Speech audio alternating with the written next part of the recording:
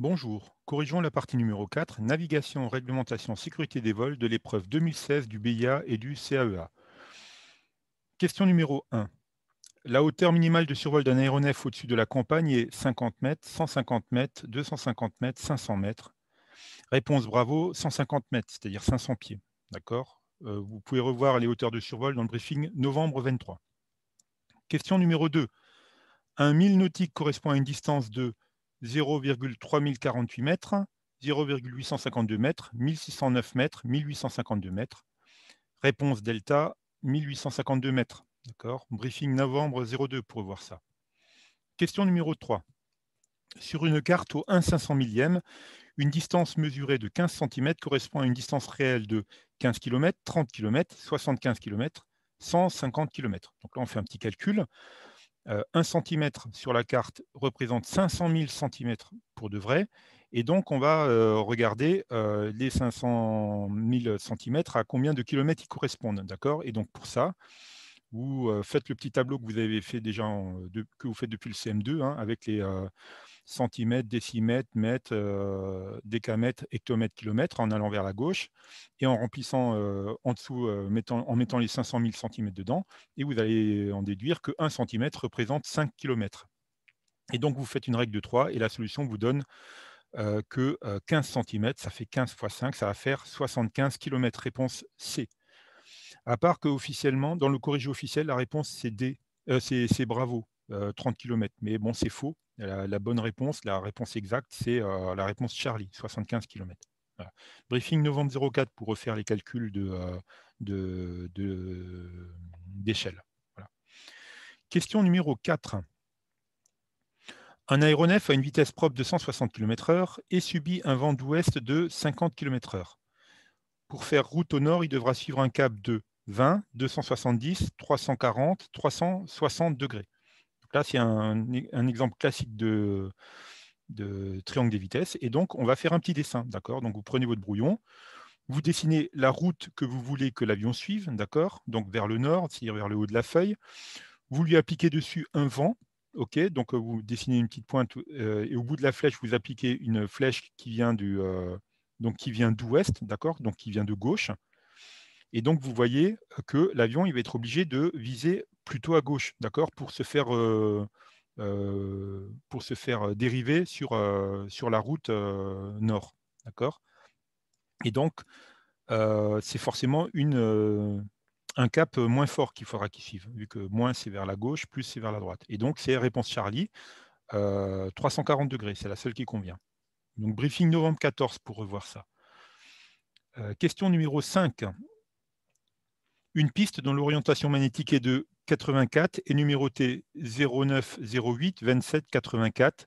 C'est évidemment 08, d'accord? En fait, l'orientation magnétique, c'est donc de 0,84 degrés. On arrondit à la dizaine la plus proche, c'est-à-dire 0,80, et on enlève le 0 à la fin. Ça fait une piste 08. Briefing novembre 30 pour revoir ça. Question numéro 6. La visibilité associée à une situation météorologique cavoquée est inférieur à 5 km, supérieur à 5 km, inférieur à 10 km, supérieur à 10 km. Cavoqué, ça veut dire sailing and visibility OK, ça veut dire qu'on a un bon plafond et une bonne visibilité et pas de phénomène significatif. Donc, ça veut dire qu'une euh, belle visibilité, on l'a euh, supérieure à 10 km. Hein. Supérieur à 5 km, on sort juste de la brume, c'est pas terrible. Donc, c'est réponse delta supérieure à 10 km. Briefing euh, de météo, Mike 42 pour revoir ça. Question numéro 7. La règle d'évitement de deux aéronefs qui se font face est évidemment par la gauche, évidemment par la droite. L'aéronef le plus bas est prioritaire, l'aéronef le plus haut est prioritaire. C'est l'évitement par la droite. D'accord? Réponse bravo. Et euh, briefing novembre 22 pour revoir les priorités. Question numéro 8. Le nom de la phase d'intégration d'un circuit d'aérodrome où l'aéronef est perpendiculaire à la piste est l'avant-arrière, l'étape de base, la finale, la courte finale. Bah, la seule qui correspond, c'est l'étape de, base, réponse bravo. Hein. Il y a aussi le vent traversier, euh, mais euh, il n'est pas proposé. D'accord? Donc, euh, réponse bravo, l'étape de base, et briefing novembre 30 pour voir ça. Sur une fréquence radio, un aéronef immatriculé FGTYB s'identifie Foxtrot Golf Tango Yako Bravo, French Golf Tango Yankee Bravo, Fox Golf Tango Yankee Borneo, Foxtrot Golf Tango Yankee Bravo. Donc la réponse, c'est réponse Delta, Foxtrot Golf Yankee, euh, euh, Foxtrot Golf Tango Yankee Bravo. Et donc on dit, c'est toujours Foxtrot hein, la réponse. Alors, on a essayé de vous embrouiller avec le Fox. C'est vrai que souvent on dit Fox à la fréquence, mais normalement on doit dire Foxtrot parce que Fox ressemble trop à Golf justement. Et donc on pourrait confondre. Et French, c'est aussi pour vous embrouiller parce que le F veut effectivement dire que c'est un avion français qui est immatriculé en France, mais on ne donne pas la nationalité de, l'avion sur la fréquence.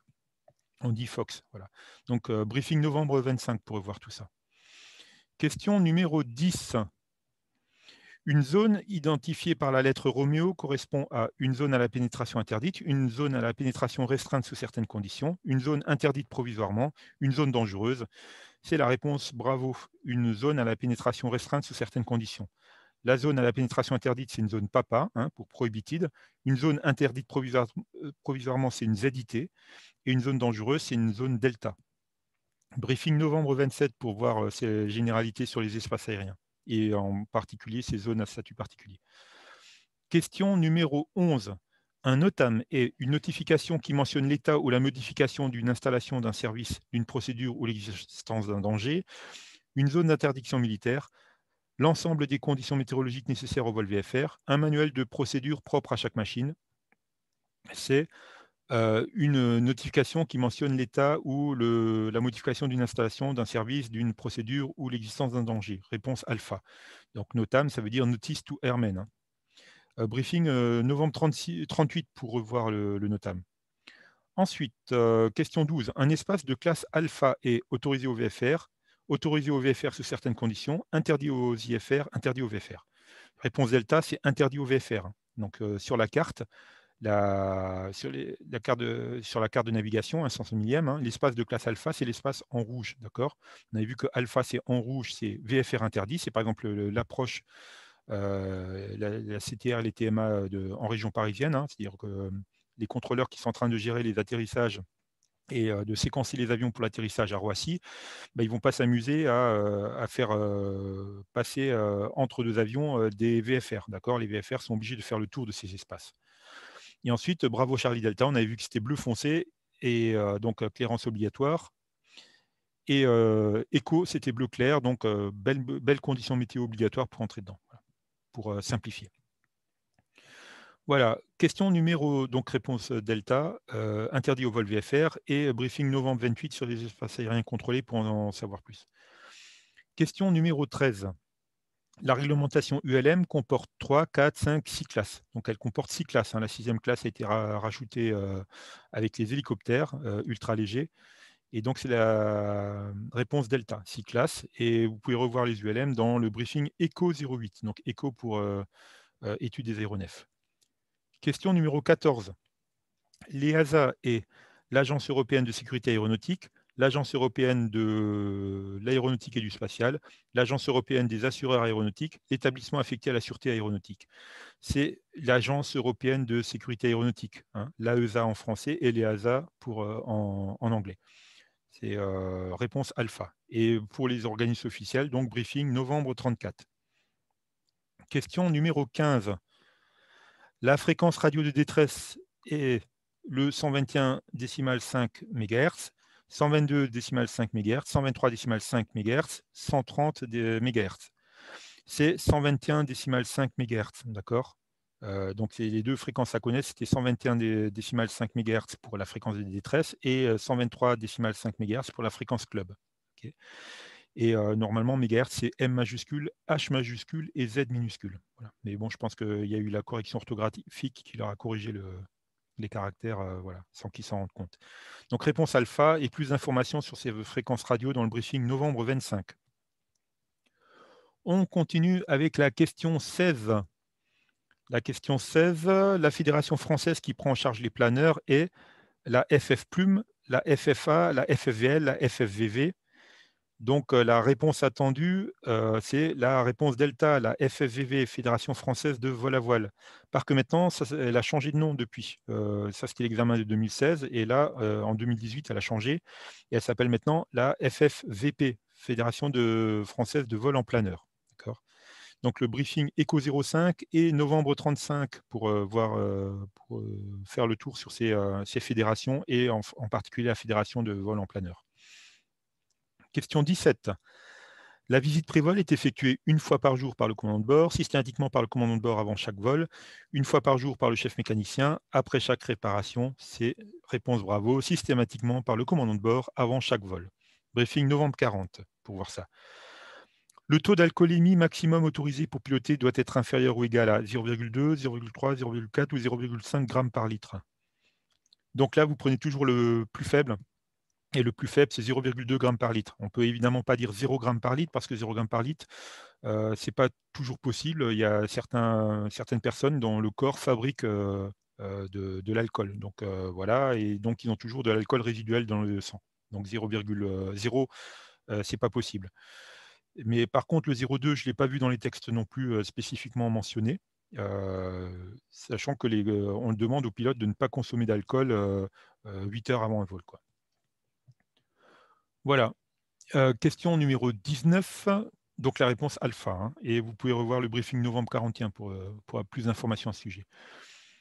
Question numéro 19. L'action prioritaire à entreprendre lors d'une panne moteur au décollage sur un aéronef euh, monomoteur est lancer un appel de détresse à la radio, tenter de redémarrer le moteur pour faire un circuit basse-hauteur, tenter un demi-tour pour se poser sur la piste, se poser droit devant avec une altération de cap maximum de 30 degrés. Donc la réponse, c'est la réponse 30, euh, la réponse euh, D, pardon. Se poser droit devant avec une altération de cap maximale de 30 degrés. En gros, quand on a une panne moteur au décollage, on n'a pas trop le temps de, réagir. Donc déjà, on ne lance pas un appel de détresse parce que ça servirait rien. et ce n'est pas prioritaire de communiquer. Ce qui est prioritaire, c'est de piloter et ensuite de naviguer. Aviate, navigate, communicate, comme ils disent les Américains. Ensuite, tenter de redémarrer le moteur, on est trop bas, il n'y a pas moyen pour faire un circuit basse-hauteur. tenter un demi-tour pour se poser sur la piste, et eh ben, ça c'est souvent ce qui provoque des, fortes inclinaisons et des décrochages, des décrochages parce que l'angle d'inclinaison était trop fort. Donc ça c'est souvent fatal. Et donc on cherche un champ devant soi. pour se poser et devant soi ça veut dire maximum 30 degrés de part et d'autre de là où on se trouve quoi. Donc réponse delta. Et vous pouvez en, voir plus sur le briefing, en savoir un peu plus dans le briefing novembre 44. Enfin, dernière question, question numéro 20. Pour la sécurité des vols, la qualité qu'il faut avoir en priorité est une bonne connaissance de soi, de ses limites et de sa machine, une grande habileté de pilotage, un grand nombre d'heures de pilotage, une bonne connaissance de la réglementation, c'est la réponse alpha, une bonne connaissance de soi, de ses limites et de sa machine, d'accord, de, de l'humilité et de se remettre en question. Voilà. Donc briefing euh, novembre 44 et novembre 46 euh, aussi pour euh, plus d'informations. Voilà, on a vu les 20 questions communes au BIA et au CAEA. On va maintenant voir les 5 questions spécifiques au CAEA. Alors, première question. Le nom du message signalant les phénomènes météorologiques significatifs orange turbulence, givrage tempête, euh, pouvant affecter la sécurité de l'exploitation aérienne est euh, le temps-ci, le sigmet, le métard, le temps. C'est le sigmet. Réponse bravo. Et briefing euh, Mike 41 pour voir ça. Donc briefing de météo. Question numéro 22. Suivre la route orthodromique revient à suivre la route la plus courte, naviguer à cap constant, suivre un parallèle, suivre la route perpendiculaire à un cap donné. Donc, c'est suivre la route la plus courte. Et la route la plus courte, ce n'est pas forcément à cap constant. Si par exemple, vous partez de Paris et que vous voulez aller à Seattle, par exemple, aux États-Unis, et eh ben, si vous êtes à cap constant vers l'ouest, si vous allez vers l'ouest, vous serez à cap constant jusqu'à Seattle, mais ce n'est pas le chemin le plus court. Le chemin le plus court, c'est de, prendre une trajectoire qui passe plus près des pôles. D'accord? Et en fait, pour voir ça, il faut imaginer que vous prenez la Terre, d'accord? Donc, vous imaginez vous voyez les deux points et vous regardez le chemin le plus court, vous tendez une ficelle entre les deux. Voilà. Et on appelle ça donc l'orthodromie, sachant que la route à cap constant, c'est la loxodromie. D'accord? L'orthodromie, c'est la route la plus courte, c'est un grand cercle. Et en général, ben, on imagine qu'on coupe la, Terre en deux en passant par ces deux points. Voilà.